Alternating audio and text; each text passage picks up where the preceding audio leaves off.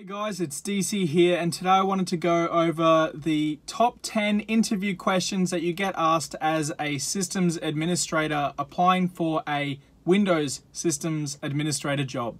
Raise it up!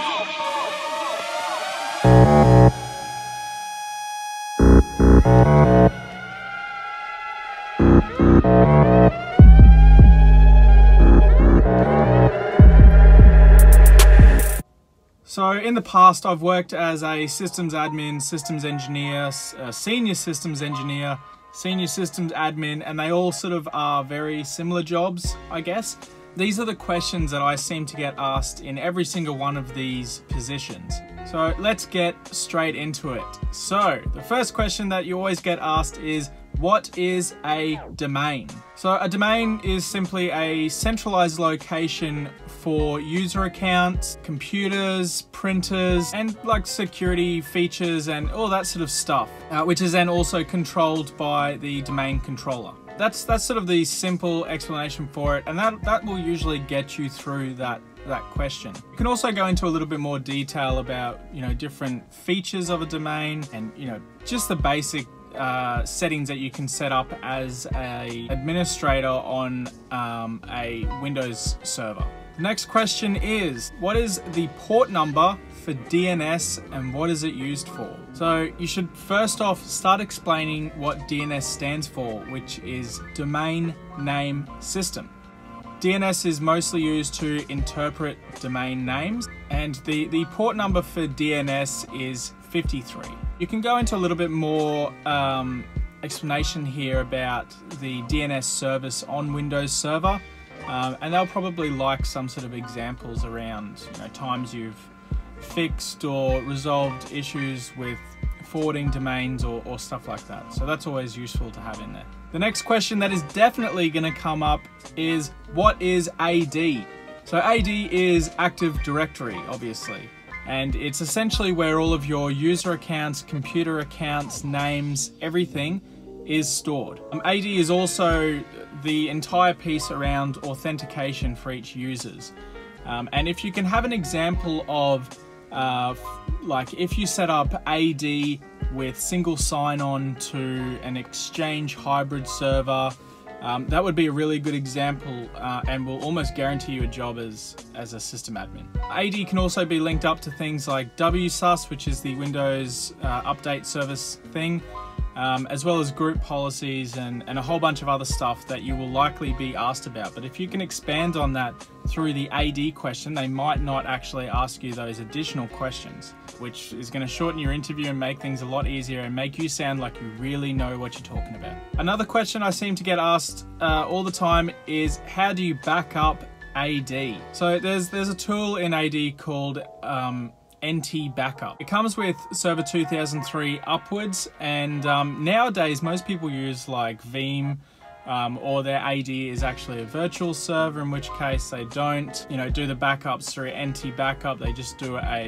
you know, virtual machine backup or an ESXi host backup. Yeah, if if they do ask you these questions, still you can just say NT backup is what I would be using. Some simple Robocopy scripts to test the the backup procedure is actually running correctly. Another question is, what is the sysvol folder used for? Sysvol is a folder, um, it's the system volume information folder, essentially, and it holds a copy of all the domain files, which is found on a domain controller.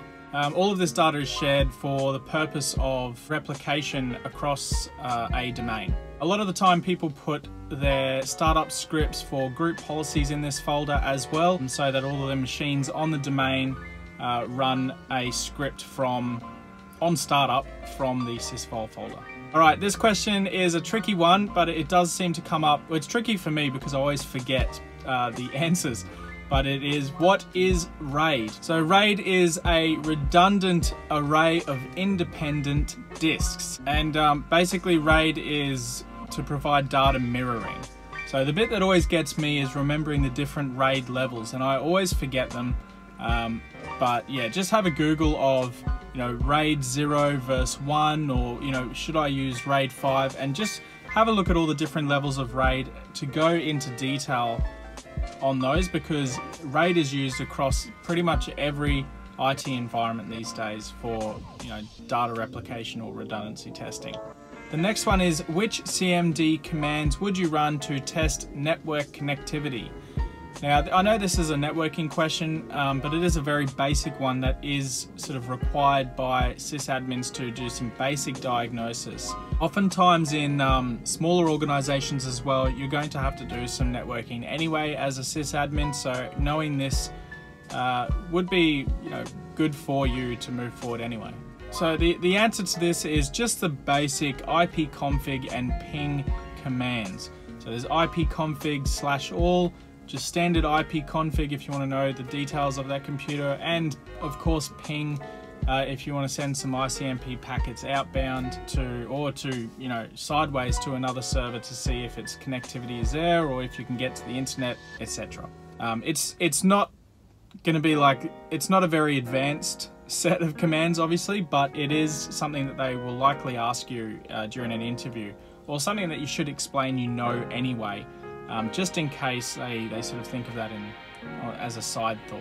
Next question that is definitely going to come up is explain group policy. Group policy is a set of policies that are used to control uh, computers, groups, users uh, in your domain. You can configure templates for each of these and often group policy becomes a massive mess and part of this sysadmin's role uh, coming into a position is uh, where you have to clean up group policy from the previous sysadmin to, to basically get everything working correctly again and make it all nice and neat.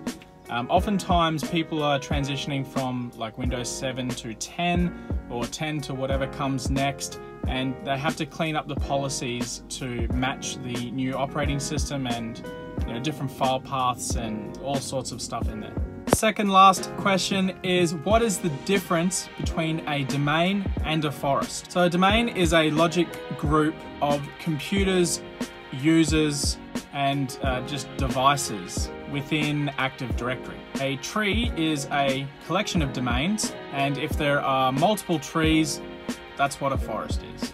Um, you can go into more detail there about um, promoting servers and all sorts of stuff in there, but um, that's maybe more for a senior systems admin role rather than just a, a, systems administrator or junior systems administrator. The last question that always gets asked in an interview is why should we hire you? Now, this is the opportunity for you to really stand out, and I believe I've mentioned it before in other videos, but it is the STAR methodology.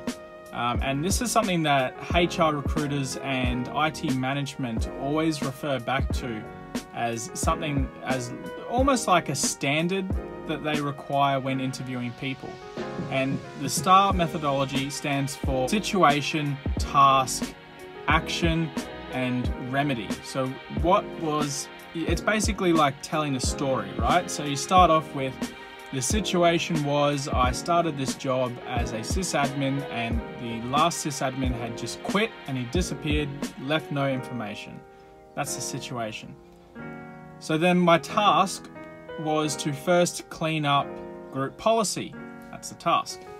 Action was to list out all of these group policies and work out what could be removed, what wasn't being used anymore, and what's duplicated through other policies. So then I started to remedy this situation by removing duplicate items in group policy, cleaning up the um, permissions of each policy, renaming ones that were no longer relevant, and moving them into an archive folder, and then reporting back on a successful group policy migration and cleanup.